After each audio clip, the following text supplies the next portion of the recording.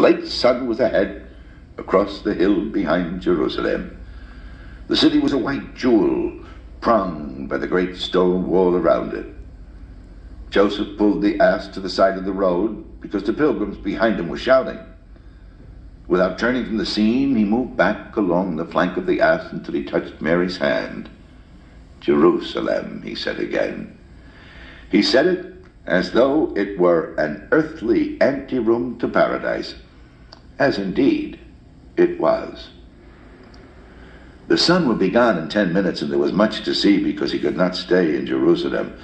His destination, Bethlehem, was still five miles to the south, but he did not mind the night walk if he could stop a moment and drink in all of this and remember it when he was old.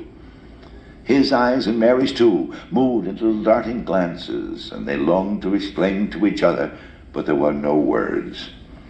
This was where God lived. They had been told many times that he did not live in the little synagogues around the country of Judea and far out in the diaspora. The synagogues were there to remind the Jews of God, to remind them of their duty never to live more than 90 days' travel from the great temple of Jerusalem, never to fail whenever possible to go to Jerusalem for the Passover. Each